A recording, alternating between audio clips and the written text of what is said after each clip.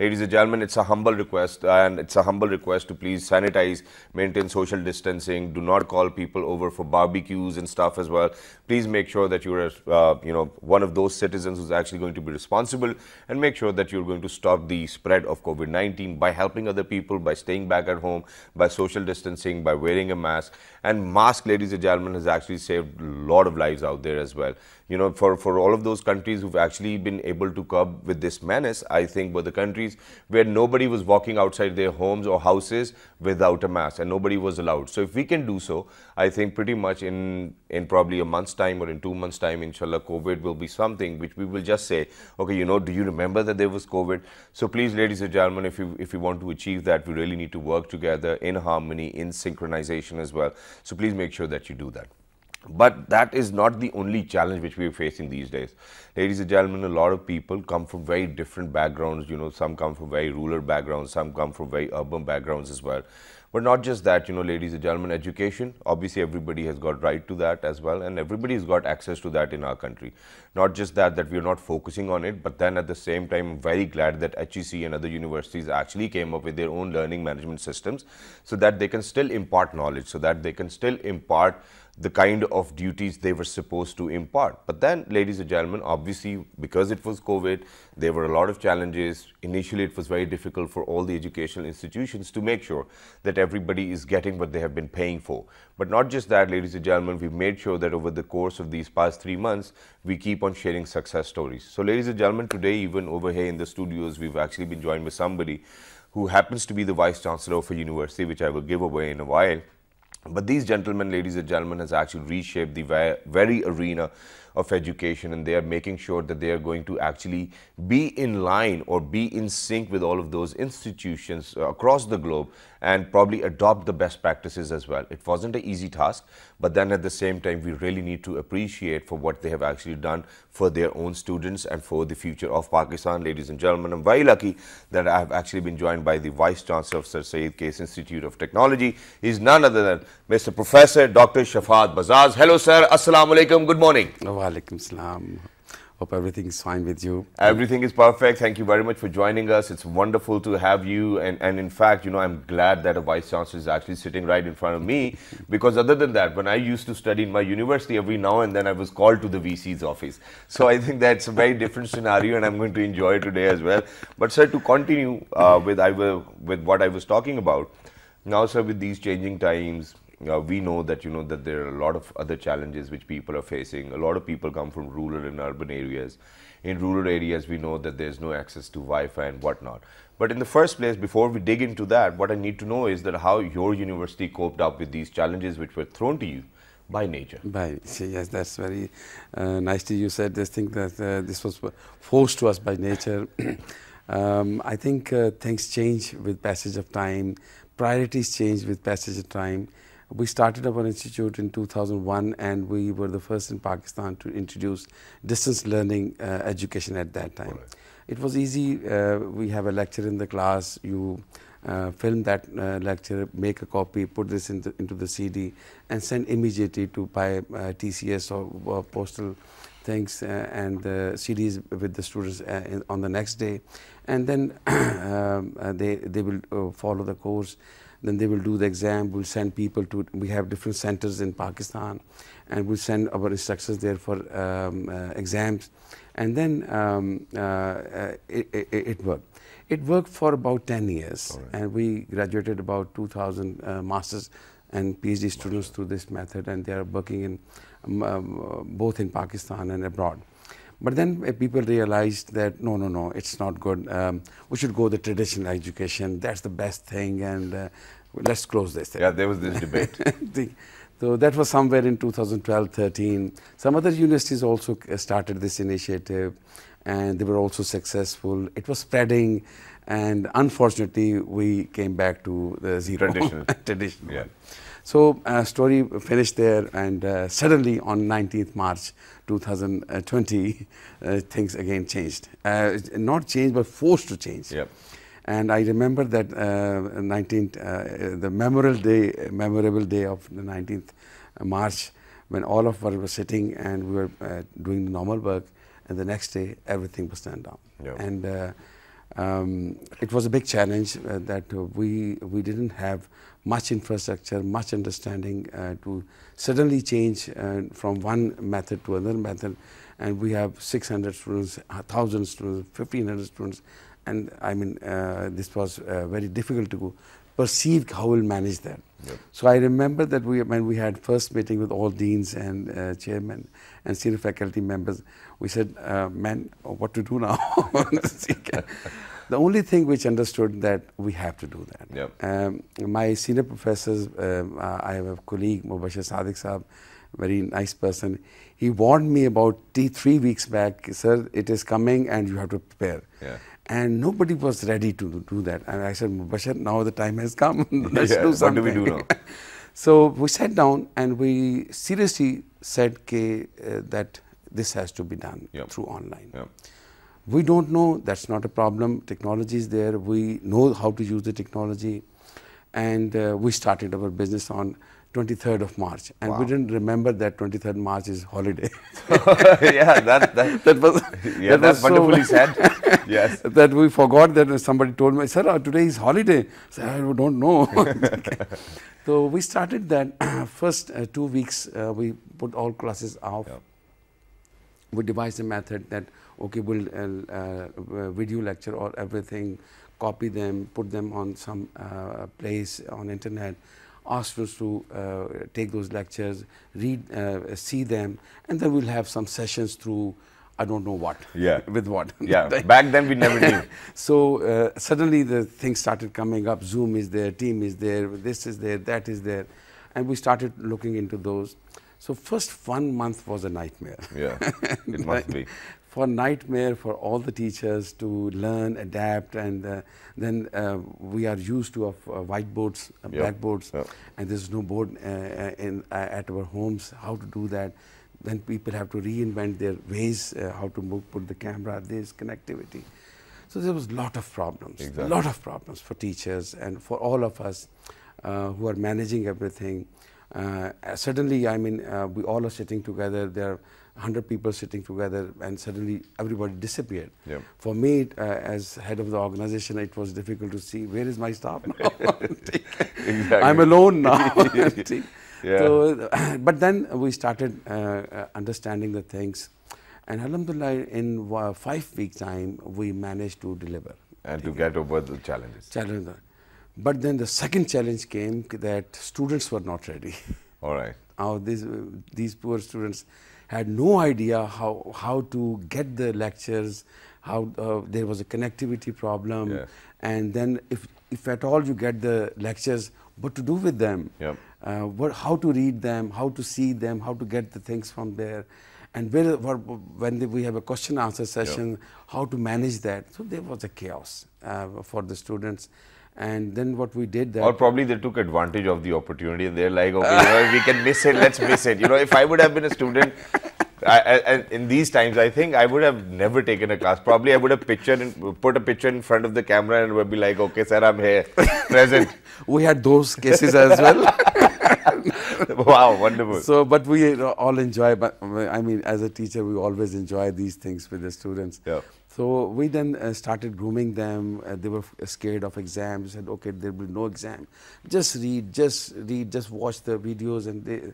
So, Alhamdulillah, we managed that as well, and. Uh, I'm thankful to all my students and especially parents. Uh, there was a big burden to them um, uh, because I see you know, at my own house also, you must be having uh, this thing that uh, um, our uh, wives and mothers uh, used to have alone and they were used to doing something at home and suddenly their th- three children are there and they're getting education and everybody's panicked them Yeah. what to do with What them. do, yeah. So, so there was a social impact also um, on our society.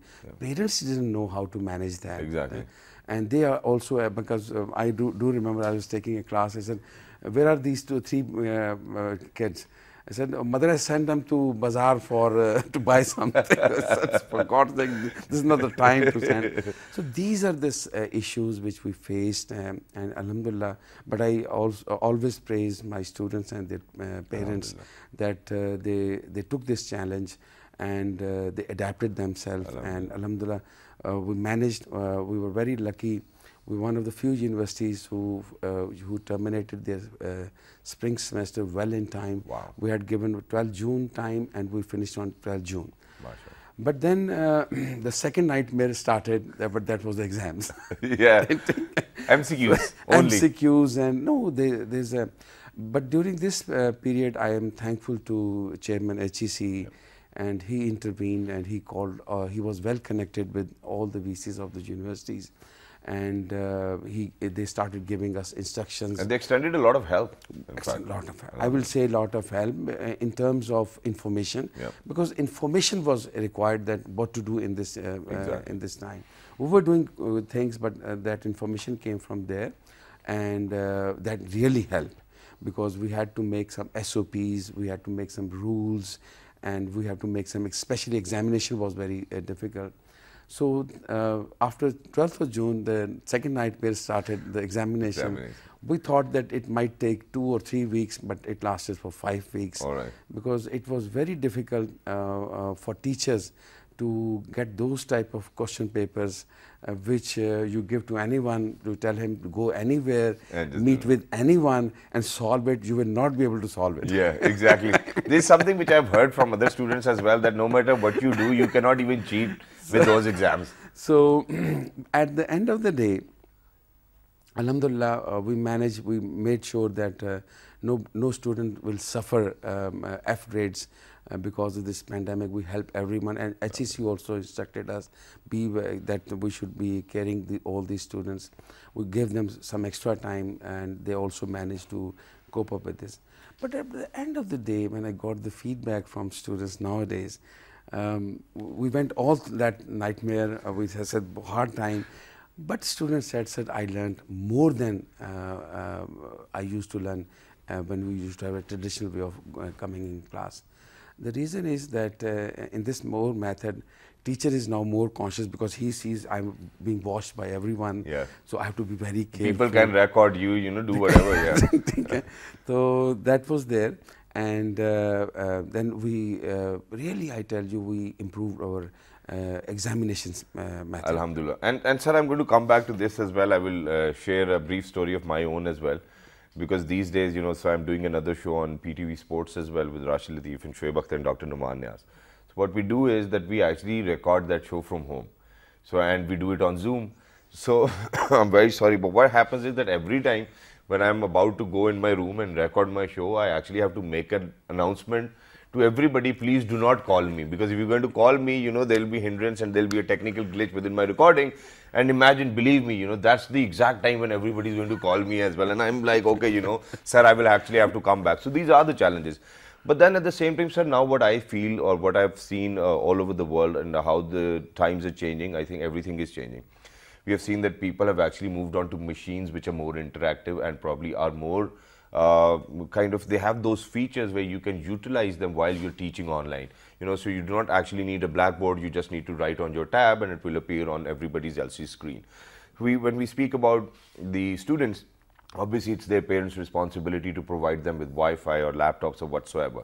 But for teachers it's the university's responsibility to provide them with all of that basic stuff which will actually be required or used by them while they will be disseminating online classes. So have you done such a thing where you've actually provided your teachers with laptops or probably the latest tablets with which they can actually deliver their lectures in a much easier way and a comfortable way? Are we going into that direction? Because this pretty much looks the future of education now. And you were very right that online education has actually had a difference because I've seen a two-year-old girl or a three-year-old girl who can actually read now. And you know, this is something which I'm a witness to. Because of the online and the teacher is not in the front, so they have to do everything by themselves now. So I think that they're coping up well, but then let's come back to the teachers aspect in the first place, that the teacher trainings with the changing times.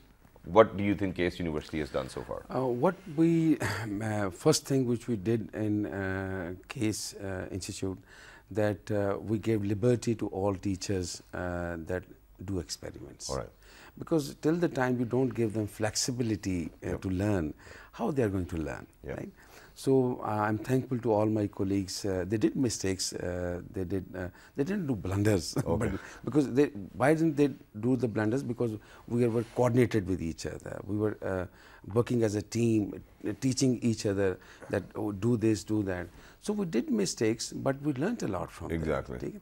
The first thing um, I always uh, I talk to my other colleagues in other universities. They said, "Sir, what you are doing?" I said, "Give give liberty to your teacher. Yes, Please exactly. give liberty and don't uh, blame them because uh, teacher thinks that my VC is also watching me, my boss is also nobody is watching you. You are doing wonderful work. So this is the first thing which, which we have to give confidence to our teacher. Otherwise, sir, it will not work. Exactly. So second thing, yes, uh, they need they need uh, gadgets. Uh, we all learn. I do remember when I was taking my second class from my home, my son was uh, sleeping in the room, and suddenly he said, "Baba, what do you want?" I'm like, "Yeah, I I have a problem. I can't uh, uh, put the th paper on the. I, I, don't have the blackboard." Exactly. He got up. He fixed the camera for me. I mean, everybody's learning from. And everybody needs to help everyone. Help everyone. Exactly. So my son knew something. I told my colleagues, you also do this thing. Okay, let's do like this. Yeah. So uh, it's not a rocket science. Exactly. It's not a big thing. Even a child can teach you uh, what to do. Your students can teach you what to do. Yes. So we have to learn technology. Technology is very simple, exactly. very straightforward. Unfortunately, um, I uh, do recall when I came uh, back in, from abroad in 2006. I was used to all these technologies. But Alhamdulillah, in last 14 years, uh, those uh, skills vanished away from me gone, yeah. because of the environment. But yeah. now I feel very happy. I used to, uh, uh I am uh, having a, a, professional life the same way, the way we I used to have in Canada. Right? So this means that we are coming up. So this is the first thing that we have to give confidence to our teachers, instructors, and um, uh, and they have to learn technology. Then they, these things, things come that um, we have to facilitate them. Facilitate them. Yes, they need. It's not only laptops. They need special gadgets where, where they can write and everything is uh, seen on the whiteboard. Exactly. Uh, so there are special gadgets. Each costs about from twenty thousand to hundred thousand rupees. Exactly. So uh, people normally think uh, because we universities have been hearing all this stuff that um, uh, you are taking fee and you are not spending the money. Yeah. No, online education is expensive. Exactly. Uh, I think um, I cannot say a percentage wise how much, but I will say five to 10 times expensive than the normal education. All right. Because we don't have, right now, we don't have the infrastructure for this. Exactly. Right now, we are doing uh, everything with our laptops, traditional laptops, they are not fast, and we don't have fast internet connections. Uh, for example, uh, uh, previously in, in old ages, we used to have internet at, at university, 100 exactly. MB or more than that. Now we have to provide that MBs to people in the homes. Yes. And this is our res uh, responsibility to provide all those uh, uh, facilities. facilities. to teachers. Exactly. So that is there is a cost for that and uh, people have to realize maybe that cost is first time or maybe there is a recurring cost. Exactly. But remember, online is not uh, an easy job to do. but sir, you know, I, I think that I'm actually in love with whatever you've said, and I'm actually in love with the kind of vice chancellor you are. Because, ladies and gentlemen, I've never ever come across a vice chancellor who actually smiles while sharing the challenges he's actually coped up with and his entire team. And you know, this is the true definition of a team leader where he's actually not taking the entire credit to himself. In fact, he kept on mentioning about his team and his teachers and how they really need to be relaxed and how the university needs to invest in the uh, even the Wi-Fi uh, you know kind of uh, devices as well. So I think that this is a great initiative where you're going to provide comfort to your teachers. Obviously, they will provide you with something better, with something bolder as well, where kids will be able to learn a little more as well. But sir, thank you very much for being with us and sharing your story. I think that the universities over here in Pakistan are doing wonderfully well, and I've always had faith in HEC because of the fact that the kind of initiatives they take and the kind of help they've extended in such testing times.